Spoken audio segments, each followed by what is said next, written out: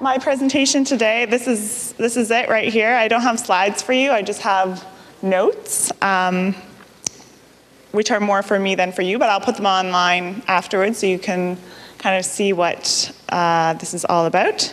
So um, today I'm just going to run through um, how to style a Drupal website. So if you're brand new to Drupal and you're a designer, or if you're a developer and you're scared of making a theme, um, this is, uh, you're in the right place.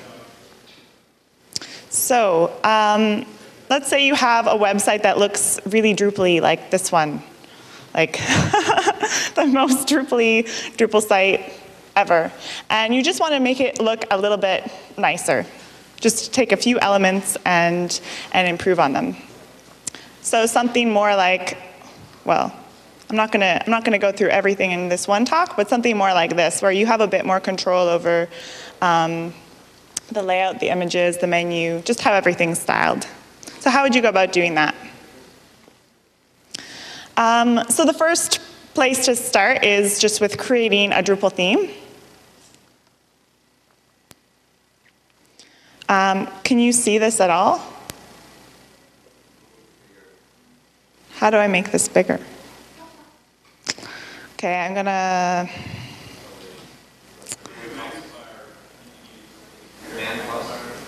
No, command, command plus.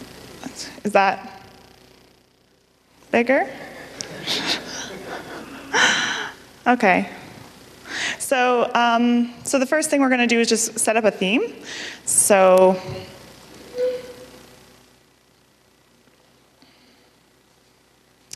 uh, what should we call our theme? Drupal Camp? DC MTL? Um, and every theme in Drupal has an info file, so just a way to tell Drupal what your theme is all about. So we're going to set up an info file which has the same name as our theme, so DC MTL again. And your theme info file is a really simple file. It doesn't, it's not something to be scared of or anything. It it's, uh, doesn't even really look like code. You're just giving your theme a name. Uh, you can give it a description. You can give it, um, you're going to tell it what engine you're going to use, which is just the formatting that Drupal uses for uh, template files. Um, and then you need to, to tell uh, Drupal that your theme is for core Drupal. So for Drupal, sorry, for Drupal 7, not for another version of Drupal. So you have to say which version of core your theme works with.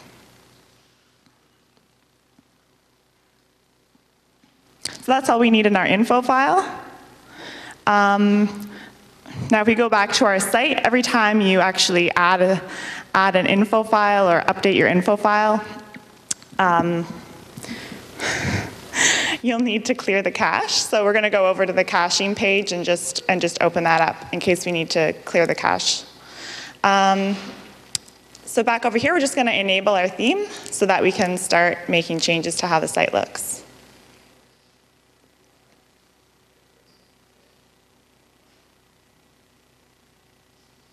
And this is our, our beautiful theme right here. You can see the screenshot looks really great. I think some of you shouldn't be in here. You guys should go to other sessions. You, you already know how to make a Drupal theme. Who here hasn't made a Drupal theme before?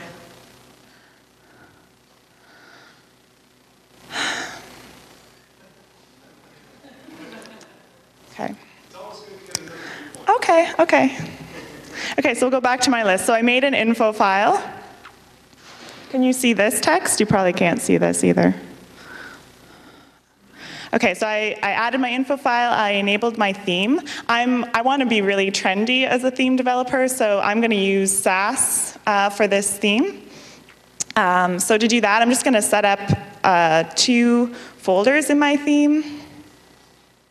I'm going to set up one for CSS and one for um, the Sass files. So this is going to let me write all the styling for this theme uh, using Sass instead of regular CSS.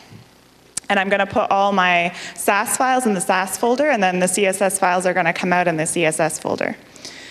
Um, and so I'm, you know, I usually use the command line, but let's just say I'm a really lazy themer, and I'm just going to use a, a GUI tool for my Sass. So I'm going to use a tool to convert the Sass that I'm going to write into CSS. And I'm going to use uh, Scout, which is just a free tool you can download for this.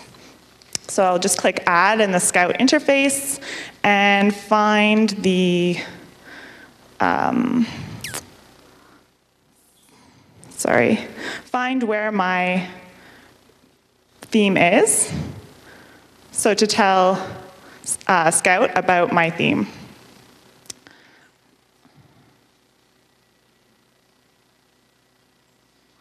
Uh, DC demo. So I'm just selecting my theme folder, and then I just have to tell it which one of these is the input, so where my Sass is coming from, and then where the CSS should be going to.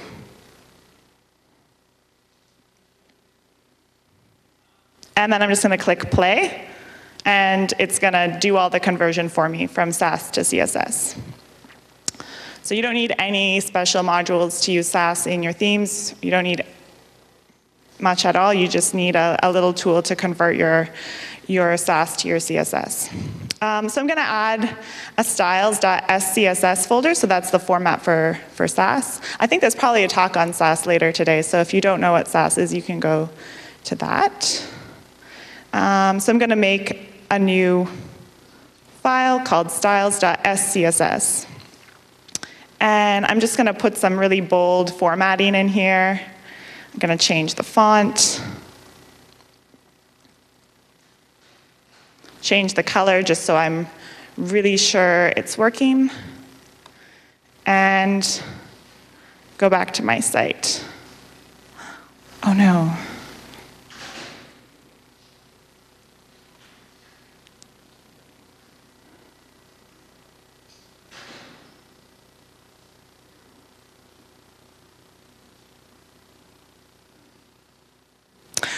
What did I forget to do, all you pro themers out there?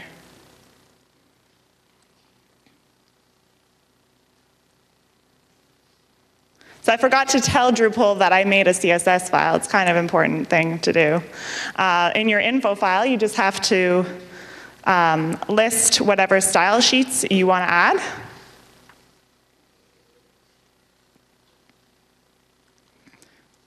So my style sheets that Drupal's going to load, those are in the CSS folder. So Scout is going to make a, a file that has that name, so Drupal can just find it there. Um, and then I'll just clear the cache since I edited my info file. And voila, I have a beautiful theme here. Things are going well. Okay, What's next on my list? I added Sass. I added a styles.scss folder. I um, did some styling. I think I'll just get rid of this, this red. I think that's not going to serve us well. Maybe we'll change it to a, uh, some kind of stylish gray. Um, so next, I'm just going to remove the site title, um, remove the menus, they don't look so great. I'm going to upload a better logo, and I'm going to send her the logo um, just to make the site look a little bit more interesting. Um, so I can do all that under, um, under appearance. Because I'm a lazy themer. I don't want to do any more work than I have to. I'm just going to turn off stuff that I don't like. Because the less that's on the site, the less work I have to do. So I'm going to go to the settings. I'm going to turn off the site name. I'm going to turn off these menus. I'm going to upload a better logo. I think I will use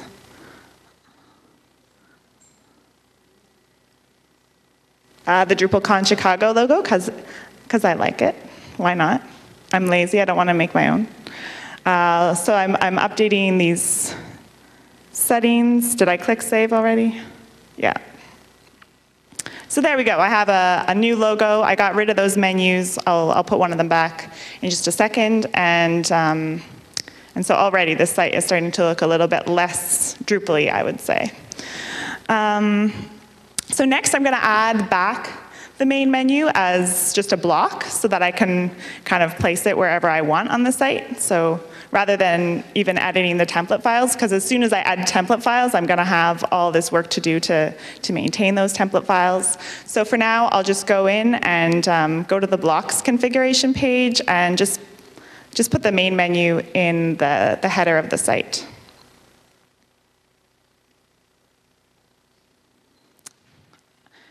Um, and Drupal likes to label things, so the main menu is going to have a title unless I set the title of the main menu to none. Great. So I have a menu, and it's nice and simple menu, and I, and I can style it however I want.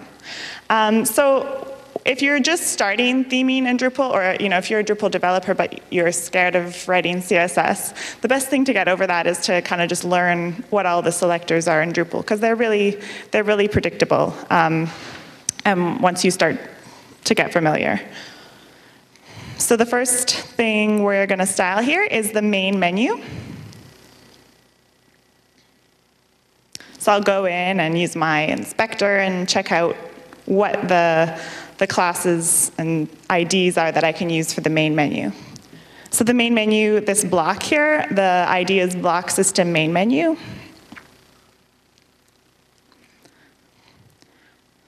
Block system main menu. Um, I think I'm going to display this. How do I want to display this? I want to make it uh, inline. I want to center it because I'm going for like a, a, mobile first kind of design. So I'm just going to start off trying to make the site kind of mobile um, uh, so I'm going to make it inline. I'm going to display it centered, and I'm going to change the background. So display inline. Um, center. I'm going to put a background color, and I'm going to remove the margins and add a bit of padding. So just the simplest CSS that I can come up with. And I want to do all this on the actual list. So in Drupal, menus have a, the, the UL on menus have a menu class on them. So you can just, you can just uh, select them that way. Ooh. Yay, I have my menu all working out here. Um, so some of this stuff I actually want to put on the LI, and because I'm using Sass, I can just nest my elements. So if you're new to Sass, um, Sass is just like CSS, so you can use all the CSS that you normally use. Um, and then sometimes you can experiment with some of the features of Sass, like nesting elements. So here I'm selecting all the LIs inside of the main menu. Um, and I'm going to make them display inline. And I'm also going to get rid of those annoying little um, uh, bullets next to the menu items because I don't like that. So list style type none is how you do that. And then I know Drupal also likes to add these images next to the bullet points, so I'm going to get rid of those also. Okay, it's starting to look really good. I'm liking this. As a themer, it's like, yeah, things are changing. Okay, what else do I need to do? I think I'm going to make the logo inline, or the logo centered as well, so it matches up with the menu.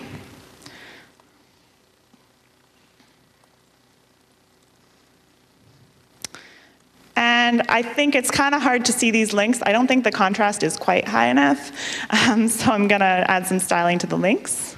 So again, I can just nest this um, don't go too crazy with the nesting, but in, in this case, it's fine to add a couple levels of nesting. So I'm going to add a color. Um, I guess I'll just make them white, and I'll get rid of the. Um, I'll get rid of the underlines. How do, how do I do that again? Thank you. Live demos kind of make you forget stuff like that. Text decoration, none. Great. Okay, it's starting to look a little better. I think I need to add some, some space around this slogan here, so I'll do that really quickly. That's inside of the header, but because it's a another ID that I'm using as the selector, there's no need to nest things. If you're just selecting something with an ID, don't add more, um, like a, a more uh, specific selector than you need, because it's just not necessary. So I'm just going to add a margin to that so that there's a bit of room around it. Um, and I'll make it italic.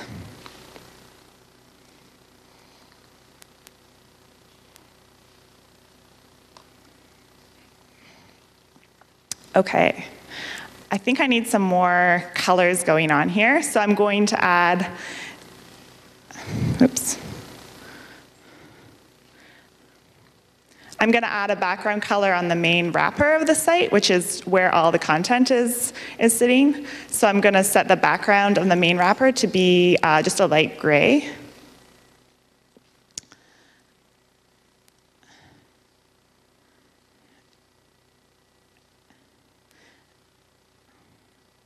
Um, and I'll put a padding on that, which is maybe going to make some of you cringe, but that's okay. I'll add something for the footer at the bottom. The footer's kind of crammed in there right now, so I'll just do something really similar for that. Um,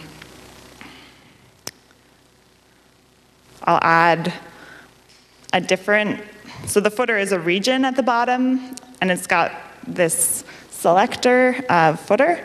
Um, so I'll add a different background color on that.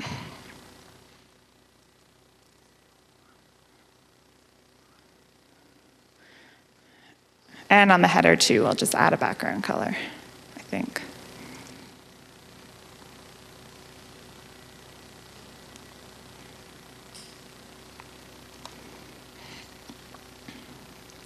Okay, so I have something that looks a little bit more like uh, a website. if I wanted to, to make some changes when the website changes size, I might want to add a media selector in here too. That's something you can just do right in your theme. You don't have to do anything special that's Drupal If you're a designer, you know how to write a media query, just put it right in, in your theme. Um, so let's say I wanted to have um, a slightly different menu layout when the website is is really small. Like I want, I want the menu items to display one on top of each other. Um, so to do that, I just um, only make the menu items display inline if the website is bigger than a certain size. So I just put in a media query, media screen or all, and uh, let's see, min width 500 pixels. So for the, those items to display inline, they have to be at least 500 pixels wide. And I have to actually put a selector in here beyond just my media query, so I'm just going to choose the block menu items.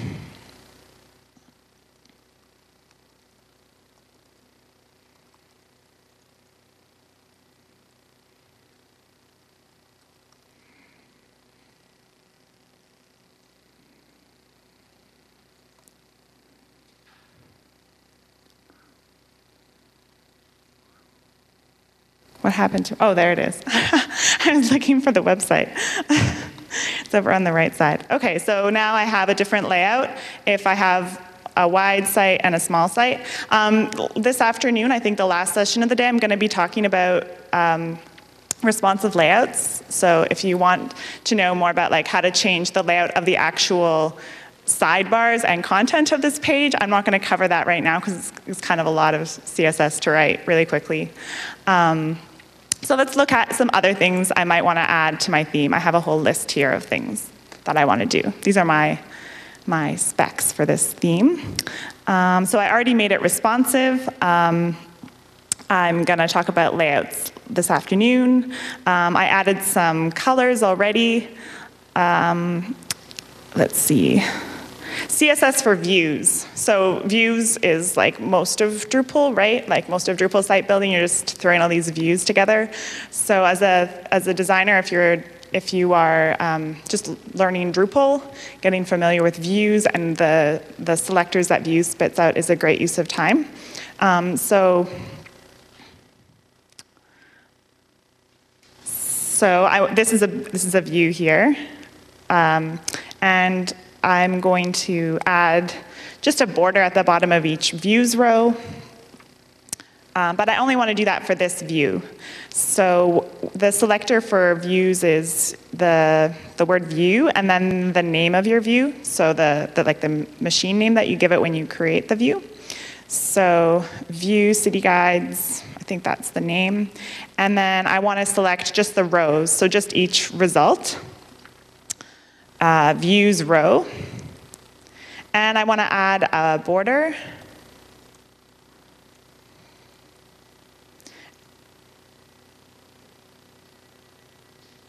Uh, maybe it should be a bit darker. And I want to add uh, padding on the bottom too.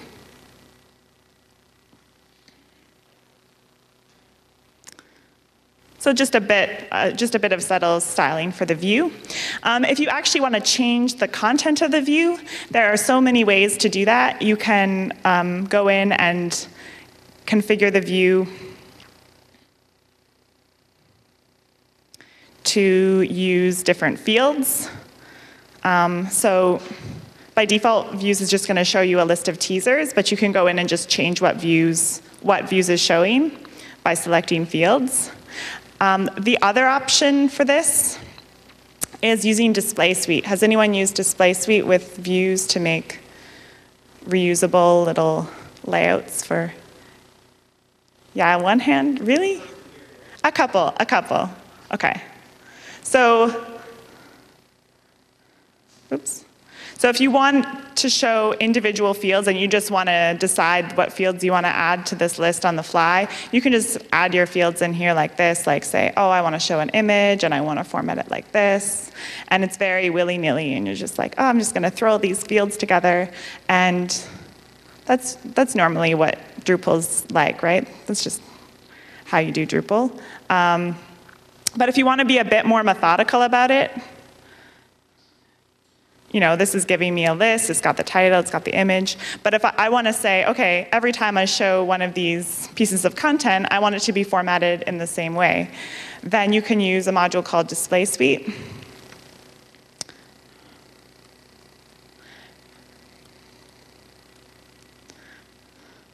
Oh, Drupal. Okay you can use a module called Display Suite, and you can use that to create a different um, view mode for your content. So instead of um, just deciding which fields you want to use on the fly, you can decide that you want to always have this display type where you have an image and a title. Um, and then whenever you're creating a new view, you can just select to use that. Um, so I can sort of show you I guess, downloading that, but I think I'll, I'll leave that for you to experiment on your own a bit. So how you do that is just going into the display of the, the content. So this is also something that as a, as a designer, if you're just getting into Drupal or if you're trying to um, improve how your Drupal site looks, um, you want to get very familiar with this display, manage display tab on your content types because it's going to mean that you don't have to make so many templates in your theme. So rather than going in and adding all these templates if you want different layouts, you can do um, quite a lot just in the configuration of the site using a manage display tab for your content types. Um, so if you added display suite, you'd be able to add more view modes rather than just these ones that Drupal gives you, like full content and teaser. You could have like um, a special teaser or like uh, teaser for when I want to show a medium amount of content versus a small amount of content or a large amount of content. So depending on the context of your site, you want to show a different level of detail when you're listing content. So um, what else did I want to do? Go back to my list. bonuses, overriding template files and adding a custom font by adding it to your template.php file. Um, so if you want to write any code in your view, you've got to make this template.php file. Um, and that's even if you just want to do something like, um, if you want this website to be responsive and you want to load a new meta tag in the site so that it'll pick up the, the viewport information, that's something you can do in your template file. And you don't have to be super afraid of a template.php file if you're how many themers are here like really themers who don't like writing php and okay is not the audience i was expecting in a drupal for designers are there any designers here where are all the designers eight i have eight minutes left that's a lot of time so I thought I was like, I thought I was done. okay, it's going so fast. Um, what else do we want to do to this website? I went too quick, quickly. We can make this look better, guys. Come on, even if we're not designers. Sorry? Yeah, let's let's change the order of stuff. Let's put let's put this at the top, this menu. So let's override the, the page.tpl.php, which is the, the template that prints out all the stuff on this page. So it's the thing that determines what order everything goes in. Um, like right now, it's saying first print out the header, then print out the menu, then print out the main content, then print out the sidebars. And that's, I mean, because I'm not doing any layout stuff, you can really see it here. It's kind of nice. So you can see that there's, it's just flowing one after the other. But if I wanted them to come in a different order, like the menu before the header, then I could just override my page.tpl.php. And because I'm, I'm being kind of like oh, I don't want to use a base theme, I'm just going to make a custom theme. I have to actually take the template file um, from Drupal core to override it. So to do that, to, to just override the order of where things show up on this page, I'm just going to copy um, the, the page.template.php file from the um, from Drupal core. So where do I do that? It's under modules, system, page.tpl.php. So I'll just copy that to sites, all themes, wherever I put my custom theme. And normally I would make a templates folder, but since I already wrote all this out, I'll just put it in the main folder. Um, it's kind of a best practice to keep all your templates together so that they're all organized. Um, so I'm copying the, the page.template.php and then I'll just, I'll just open it up and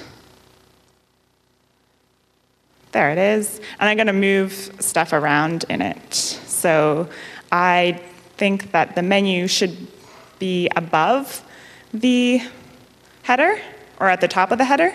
And right now it's being printed out at the bottom of the header. So I can just take that element, this header region here, and put it up here at the top.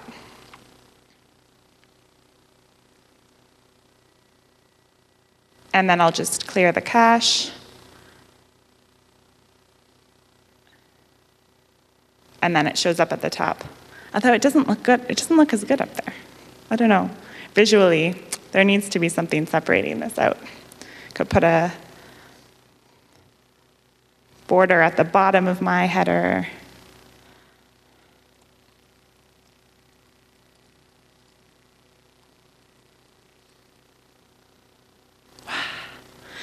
So the nice thing about Sass is that if there's something wrong with your CSS, it just tells you. It's just like, no, you can't do that.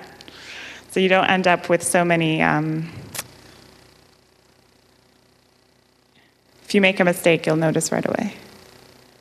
There we go. What else do we want to do? Someone said they wanted to do something back there.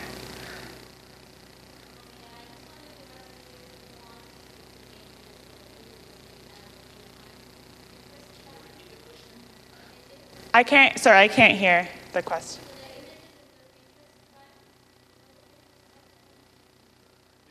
Pinterest.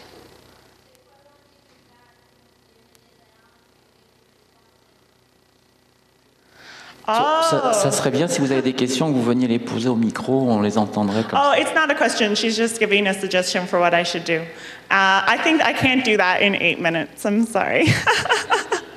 there, there's a views styling, I think, for, I forget what it's called, like the, the thing in Pinterest where it, it displays the blocks. Is it, it's not infinite scroll, it's um,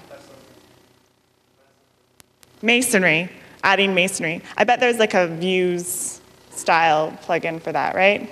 There must. Oh, you can't find it. I think that.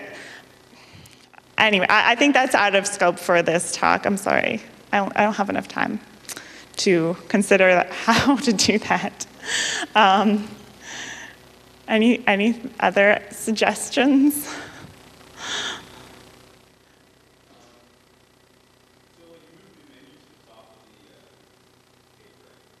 Yeah.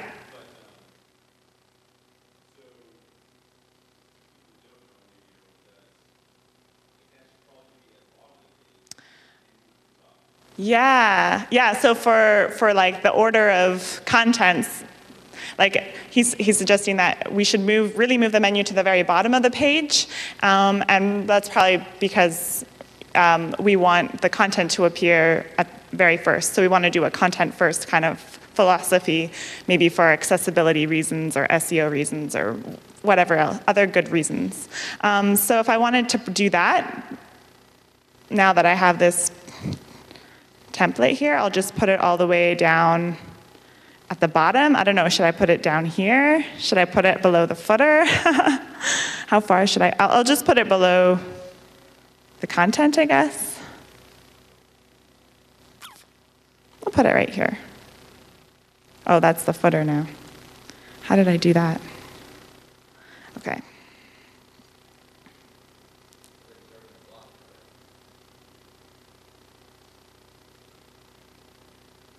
I'm putting the whole header at the bottom of the site.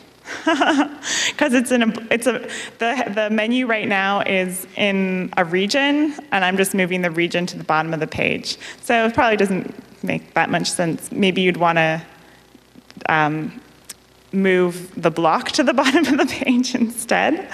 But I already have this file open, so I'll just do it this way. Um,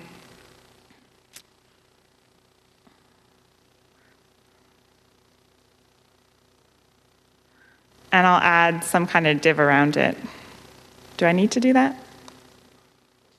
Great, so it's at the bottom of the page. Oh, okay, it looks good like this. This is fine, right? We can put the menu at the bottom. um, so to, to style that, to put it at the top of the page, um, I know some themes position it, would position it absolutely, so let's do that.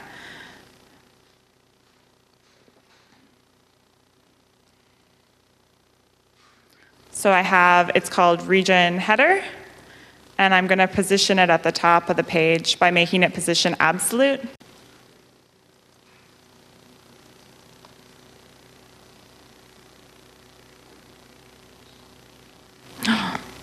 it's gone.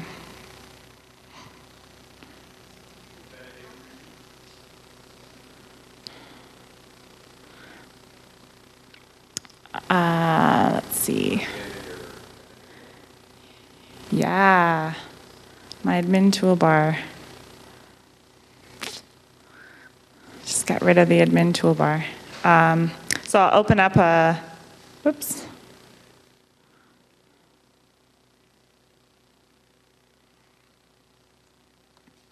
Yeah, there it is. It's just hiding. So how should I fix that? First of all, it doesn't look that great. It should have, should be full width. Um, any suggestions for how I'd fix it?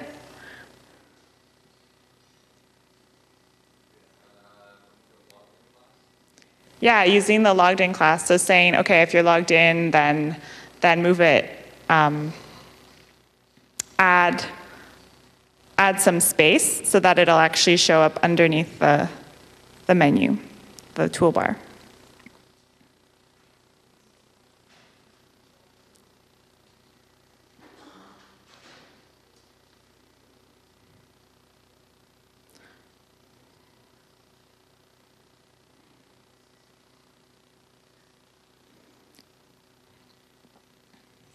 So when you're logged into the site, there's a class on the body element. Logged in and then you can um, use that to say, push the page down. So let's say the page wrapper.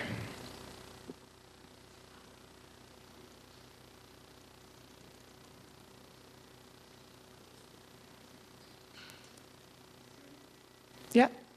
Okay.